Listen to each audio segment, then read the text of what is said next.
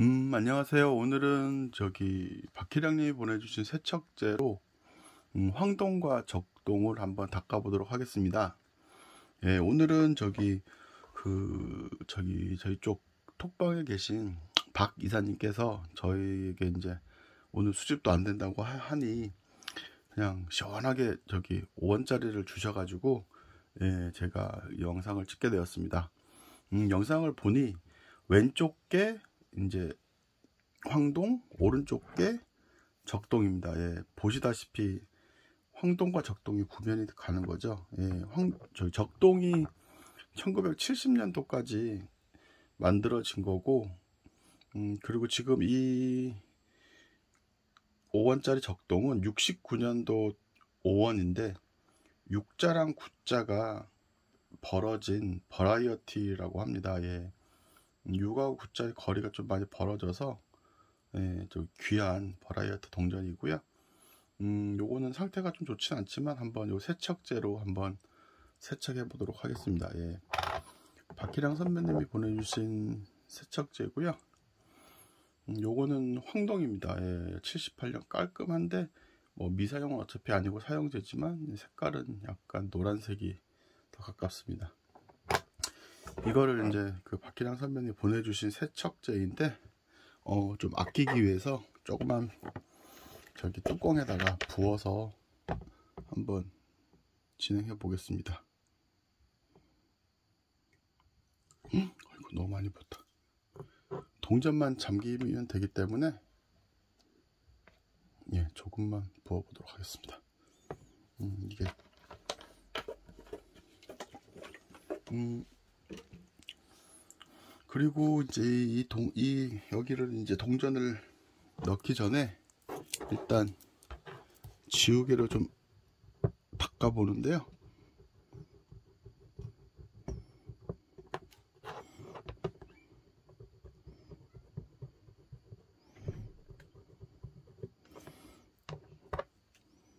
음, 지우개로 닦으니까 약간 더 광이 나긴 하네요.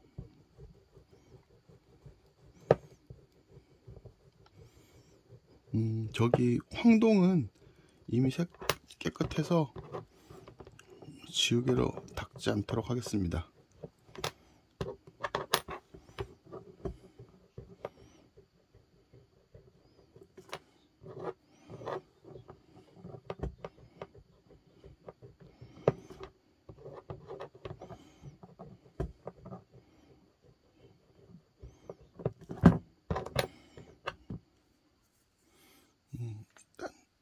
일단 뭐 지우개로 닦으니까 조금 깨끗해지긴 했습니다. 예. 음, 그래도 이제 이게 한계가 있어서 제가 저기 그 세척제 넣어서 한번 진행해 보도록 하겠습니다.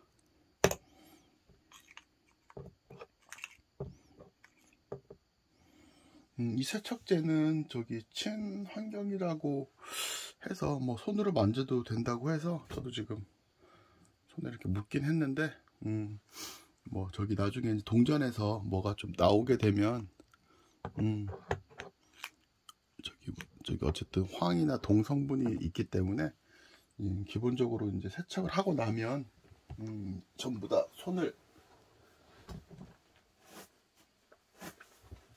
음, 손을 깨끗이 씻는 게 예, 맞는 것 같고요. 음, 일단 물티슈로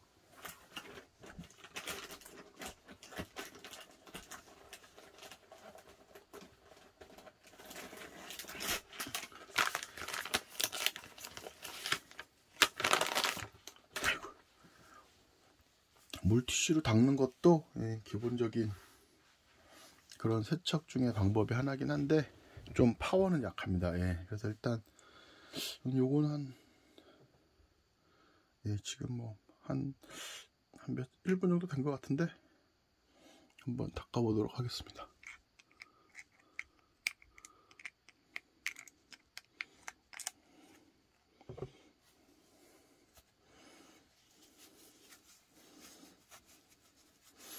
이게 뭐 정확한 정답은 아니고요. 예, 일단 원래는 이거는 거의 준미 미사용 동전을 음, 약간 붉은기가 나오네요. 미사용 동전급에서 이제 흑점이 생긴 거를 이제 지우개로 닦고 요걸 요걸로 세척을 하면 원광이 살아있는 걸로 되는 거라고 이제 그 박혜양 선배님이 나눠주실 때 하신 거고요. 음. 음. 닦으니까 좀 깨끗해졌습니다. 예. 아까보다는 어둡던 빛이 많이 살아나긴 했습니다. 예. 네, 일단 아직까지는 크게 아주 막 광택약처럼 깨끗해지진 않은 것 같고요.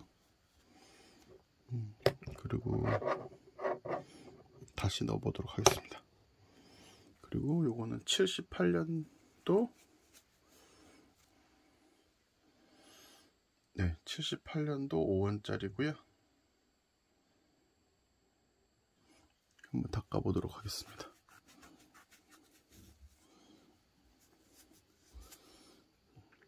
확실히 황동이라서 노랗습니다. 예.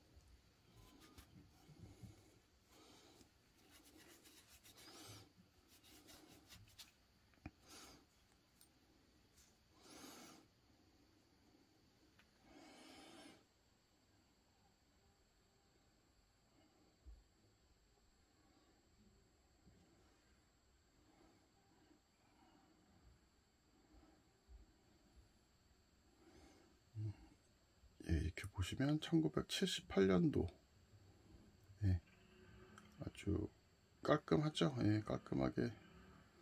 근데 뭐 회전 빛이 있거나 그런 광은 나진 않고요.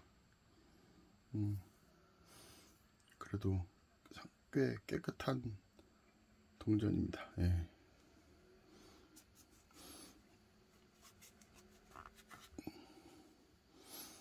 보니까 거북선의 등갑도 거의 살아 있습니다. 예. 이 거북선의 등갑에 여기 그 철심이라 그러죠. 그게 이제 모양이 살아 있고 없는 거에 따라서 오래된 사용자가 나오는데 음, 이 동전은 오래되긴 했어도 어, 동전 상태는 아주 좋은 예 78년도 코리아고요. 여기 보시면 7하고 8이 예, 가까이 붙어 있죠, 있죠. 예, 붙어 있는데 저기 버라이어티 1969년도는 7하고 8 사이가 좀 많이 떨어져서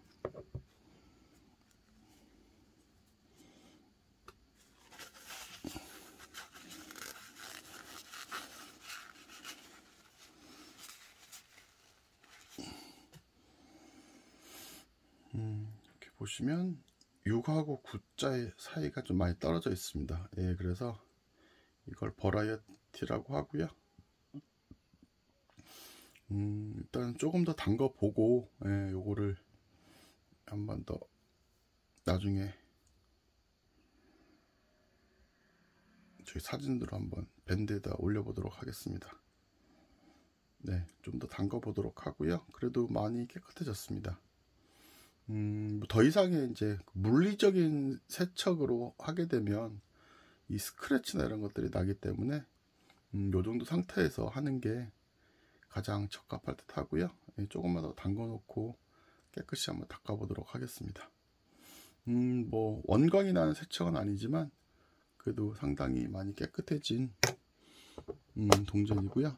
그, 그 박혜랑 선배님도 항상 말씀하셨듯이 이게 미사용으로 만들 수 있는 게 아니고 어 이제 미사용 5원짜리나 10원짜리가 흑점이 생겨서 이제 그게 동전을 파고 들어가서 생긴 게 흑점이고요. 그거를 이제 긁어내거나 지우개로 닦은 다음에 음, 저 세척제로 이렇게 살짝 그 담궈 놓으면 이제 원광이 살아있던 음, 그 동전이 이제 녹이 더 번지지 않고 오래 보관할 수 있는 그런 세척제입니다. 막 시커멓고 어두운 거를 밝게 해주는 그런 광택약은 아니고요. 그리고 물리적인 방법으로 표면을 긁어내서 닦아내는 그런 것이 아니기 때문에 어 일단은 음 정말 A급 동전인데 흑점이 생겨서 아쉬운 분들이 어 뭐 grading 보내지 않을 마음으로 그냥 저희 녹 제거 하고 나서 이제 담궈 놓으면 좋은 그런 세척제 같습니다. 예, 오늘은 저기 그 박 이사님께서 주신 69년 버라이어트 동전하고 5원짜리랑 소개해 드렸고요. 음, 어, 요즘 날씨가 추운데 건강 관리하시고 오늘은 날씨가 참 좋아서 예, 동묘에도 사람들이 되게 많았습니다. 예, 언제나 수집은 건강이 가장 우선이고요. 음, 좋은 분들하고 만나서 이야기하는 게 좋은 수집인 것 같습니다. 예, 저도 올해는 이제 수집품을 더 이상 미국에 수입하는 건 줄이고 이제 있는 거 나눔하고 이제 판매도 하고 해서 음, 조금 이제 집을 좀 정리하고 재정비하는 수집 활동을 할것 같습니다. 그리고 12월에 그 집회 민트가 나온다고 하는데 음, 그 조폐공사 쇼핑몰에 회원가입이 안 되어 계신 분들은 회원가입을 하시고 주소지를 꼭 등록해 놓으시고 예, 현금 한 20만 원 정도 준비해서 음, 접수하게 되면 예, 꼭 이번에 득템하셔가지고 어, 좋은 수집이 될 수 있도록 하시기 바랍니다. 최초로 나오는 지폐와 mint가 가, 동전이 같이 있는 지폐 mint이기 때문에 여러분께 좋은 수집의 계기가 될 것 같습니다. 저는 70주년 proof mint를 수집하면서 처음 수집에 좀 더 들어오게 되었, 되었거든요. 좋은 기회가 될 수 있는 수집 활동 되세요. 감사합니다.